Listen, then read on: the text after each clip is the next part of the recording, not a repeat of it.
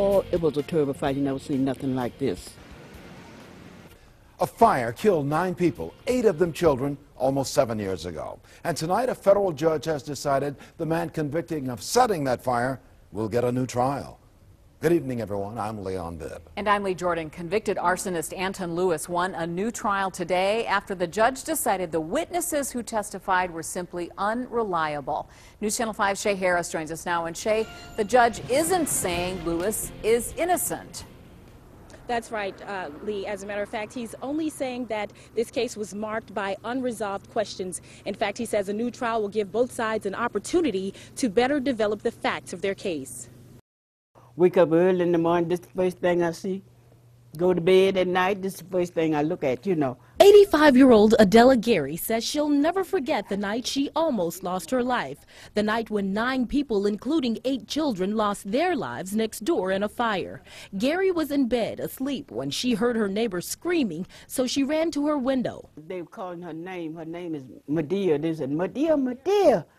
While I was looking at the fire, and one of their glass broke out to my glass, my window, what I was looking out of.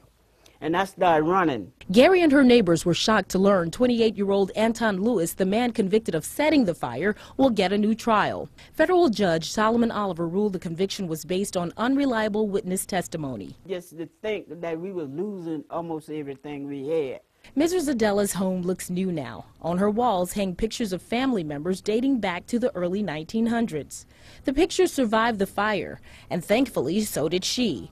But to this day, Mrs. Adela still questions what could have driven someone to commit such an act. I wondered, you know, what could have happened that somebody would do a thing like that. But I thought of so many things I don't know what to tell you. It was a hurting thing, that's all I could say. Well, now, as you can see, neighbors continue bringing bears to this house seven years later. Their way of saying that they will never forget that fateful night. Meanwhile, the U.S. Attorney's Office says they will appeal the judge's decision. In Cleveland, Shay Harris, News Channel 9. And Shay Lewis has been informed about today's developments?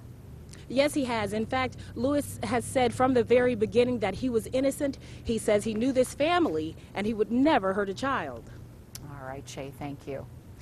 So